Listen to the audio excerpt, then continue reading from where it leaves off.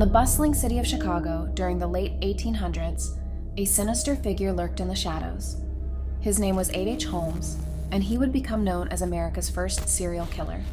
However, it was his murder castle that would cement his place in history as one of the most depraved and diabolical criminals of all time. H.H. Holmes, Chicago.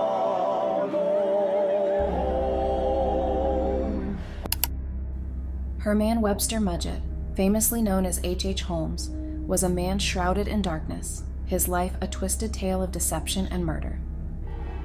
If he did become a, a killer by whatever means, for whatever reason, that his style of killing would reflect that fascination with gadgetry and, and planning and getting the whole thing right. Fantasy to a serial killer is, is the whole foundation of why they become a serial killer.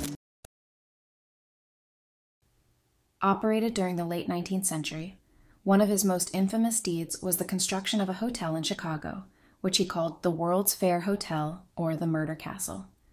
He was born in 1861 in Gilmanton, New Hampshire, and later moved to Chicago. Holmes exhibited an unusual intelligence from a young age, coupled with a chilling lack of empathy. As he matured, Holmes pursued a career in medicine, but it wasn't long before his ambitions turned sinister. I was born with the devil in me. I could not help the fact that I was a murderer, no more than a poet can help the inspiration to sing. Moving to Chicago, he established himself as a pharmacist and later as a hotel proprietor. But behind the facade of his charming demeanor lay a malevolent mind. He purchased a plot of land in the Englewood neighborhood of Chicago and began construction on what would become his infamous hotel, intended to use it as a hotel during the upcoming World's Columbian Exposition.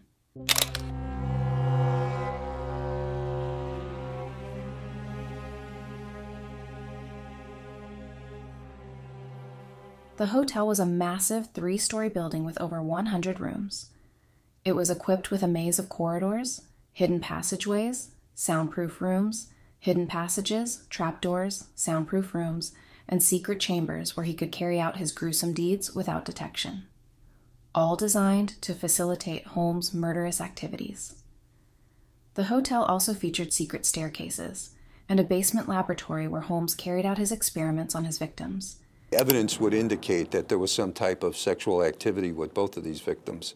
He may have raped, possibly even molested the children when they're when they were put in the trunk, they were naked. He was a predator, preying on the vulnerable and the unsuspecting. He would often target young women who had come to Chicago seeking employment or adventure.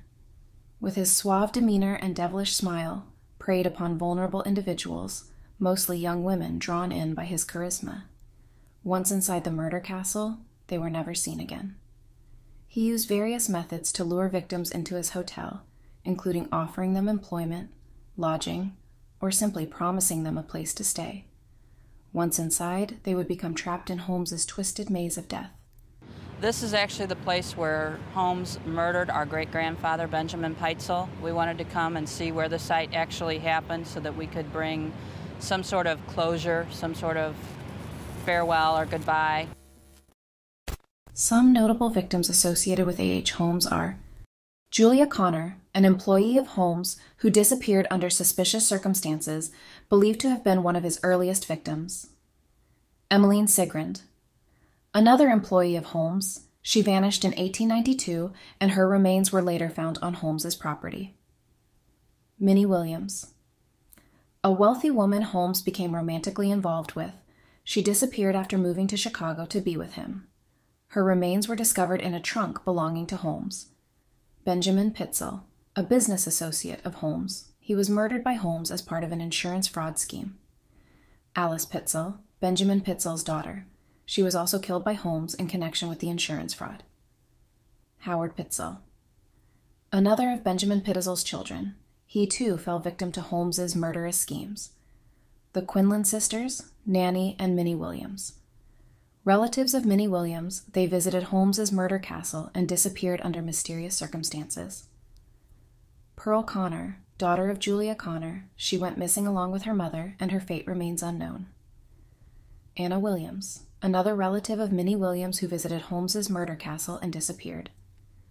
Emmeline Cigrand's daughter, Emmeline Cigrand had a daughter who also vanished along with her mother, their fate tied to Holmes' dark deeds. These are just a few of the known victims of H. Holmes, but it's believed that there may be more individuals who fell victim to his heinous crimes. Their stories lost to time.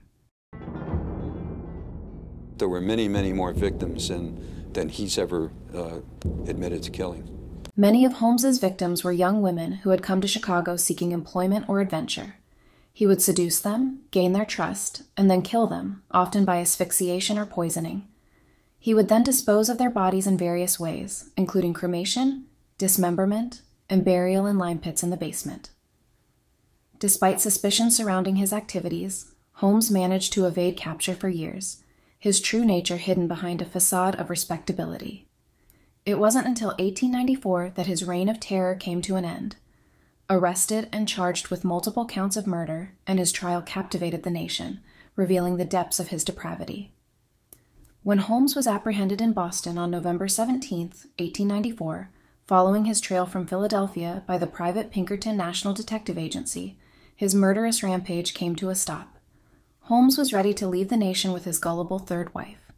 But the authorities had grown increasingly suspicious at this time, so he was being held on an outstanding warrant for horse theft in Texas.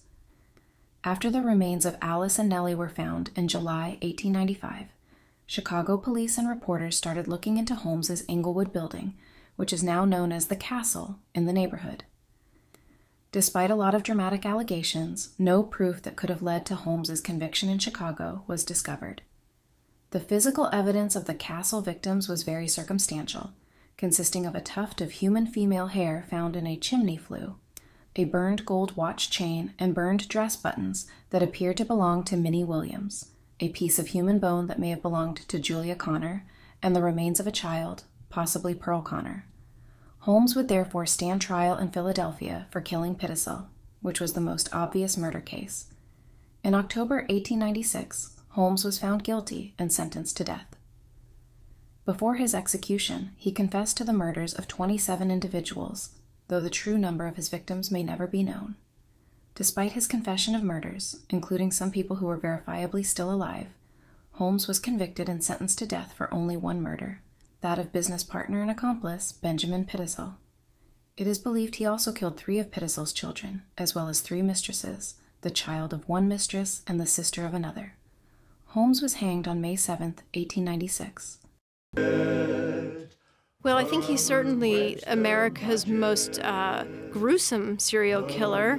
He was a cunning, planning killer.